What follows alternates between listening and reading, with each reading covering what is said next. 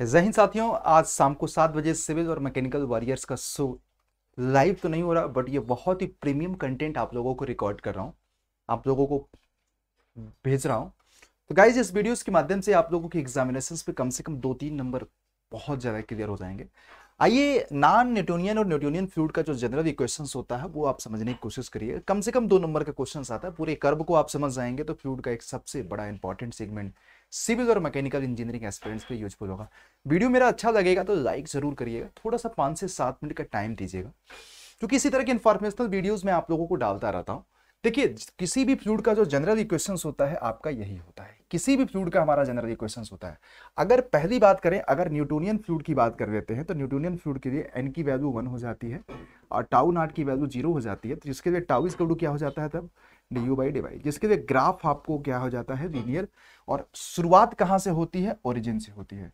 जिसका एग्ज़ाम्पल हमारा petrol water diesel kerosene mercury होता है।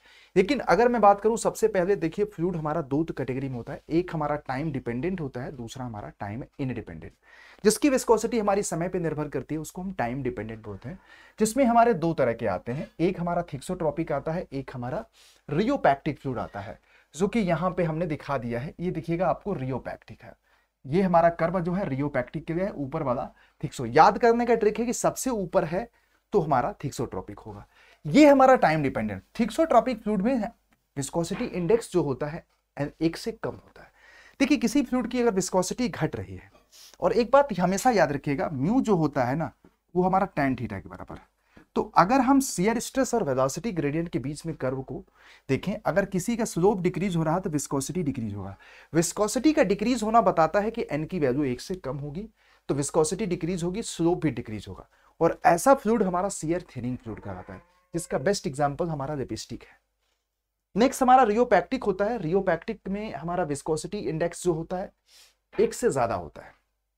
स्लोप हमारा बढ़ता है। इसके लिए हमारा क्या होगा? विस्कोसिटी इंडेक्स एक से ज़्यादा स्लोप हमारा बढ़ेगा तो विस्कोसिटी भी बढ़ेगा। बेस्ट एग्जांपल हमारा बेंटोनिटिक सोल्यूशन हो। गया बेंटोनिटिक सोल्यूशन इसके बेस्ट एग्जांपल है। और फिर उसके बाद बीच वाला हमारा बिंगम प्लास्टिक हो गया, बिंगम फ्लूड जिसको बोलते हैं। बिंगम फ्लूड में क्या होता है कि यहाँ पे देखिए टाइम इंडिपेंडेंट है। यहाँ पे इसकी शुरुआत जो होती है ओरिजिन से नहीं होती है। एक इनिशियल अमाउंट ऑफ़ स्ट्रेस से होता है। एक इनिशियल अमाउंट ऑफ़ स्ट्रेस से होता है। जिसको इनिशियल सीयर स्ट्रेस बोलते हैं या हम थ्रेसोल्ड स्ट्रेस भी बोलते हैं। इसके लिए एन की वैल्यू एक होती है। स्लोप हमारा इसका कांस्टेंट होता है। ये न्यूटोनियन इसलिए नहीं है कि इसमें इनिशियल सीयर स्ट्रेस होता है। इसका बेस्ट एग्ज़ाम्पल हमारा टूथपेस्ट होता है। टोमेटो केचप और टूथपेस्ट होता है। और ये हमारा एक नॉन न्यूटोनियन फ्लूड है और टाइम इनडिपेंडेंट है। और दूसरा, अगर मैं बात करूँ, यहाँ पे एक हमारा क्विक सेंट होता है, जो टाइम इंडिपेंडेंट की कैटेगरी में आता है, जिसके लिए एन की वैल्यू एक से ज़्यादा होती है स्लोप हमारा बढ़ता है विस्कोसिटी भी हमारी इंक्रीज होती है। जिसका एग्ज़ाम्पल क्विक सेंट दलदल जिसको बोलते हैं, चीनी और पानी के मिक्सर को जब आप स्टीयरिंग करते हैं तो ऑटोमेटिक उसकी विस्कोसिटी हमारी क्या होती रहती है? बढ़ती रहती है स्टीयरिंग करने पे। इसलिए यहाँ पे एन की वैल्यू एक से ज़्यादा। अपने आप में सैनता सूचक, जिसको हम विस्कोसिटी इंडेक्स बोल रहे हैं वन ऑफ़ द प्रीमियम हमारा इंफॉर्मेशन दे देता है कि आपका यदि स्टीयरिंग करने पे हमारी विस्कोसिटी बढ़ती है तो ऑटोमेटिक मतलब गाढ़ापन आता है तो विस्कोसिटी बढ़ेगी।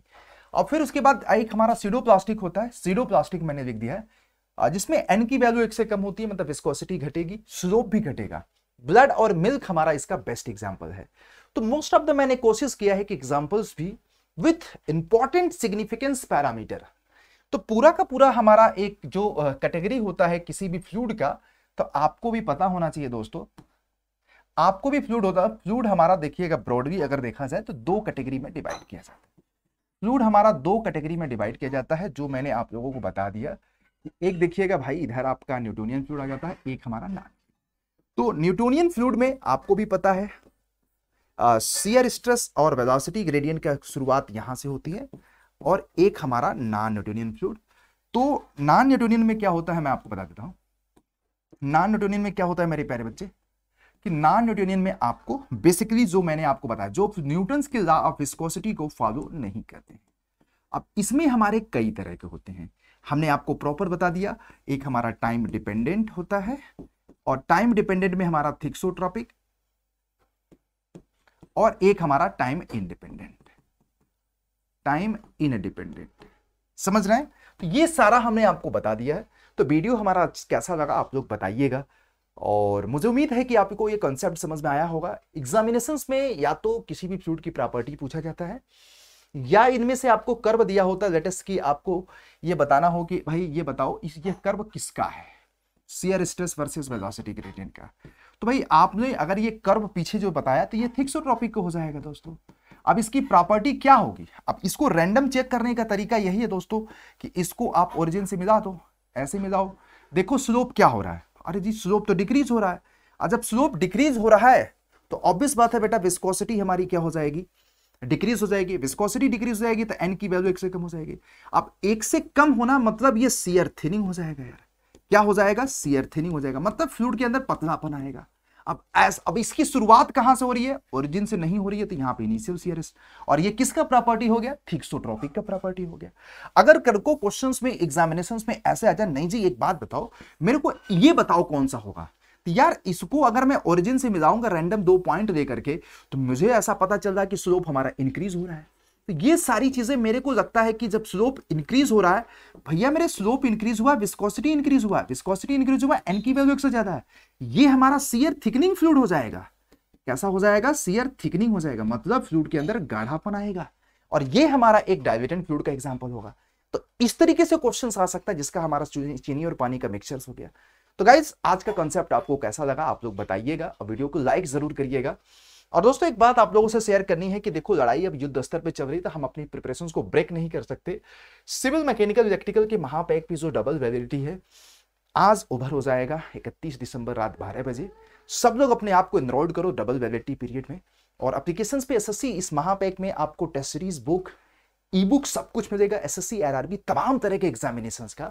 और उसमें आपको सबसे बड़ी बात, जो हमारा एस एस सी का टू पॉइंट ज़ीरो बैच है फाउंडेशन बैच सिक्स आवर्स की सिक्स हंड्रेड आवर्स की टेक्निकल और नॉन टेक्निकल को वो मिल रहा है आपको।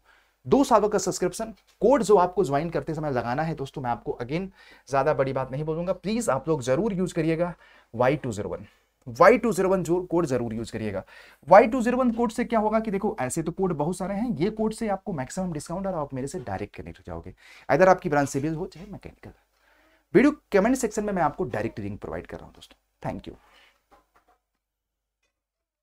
प्लीज़ अगर वीडियो अच्छा लगा तो लाइक करिएगा। ज्वाइन करना नहीं करना, ये आपका पर्सनल डिसीज़न है बट सब लोग आ जाओ मेरे साथ कनेक्ट हो जाओ। एप्लीकेशन पे मज़ा आएगा। नोटिफिकेशंस का डेट भी आउट हो चुका है तो हम लोग नेक्स्ट लेवल पे अपनी प्रिपरेशंस करने वाले हैं। एप्लीकेशंस में मेरे साथ। Thank you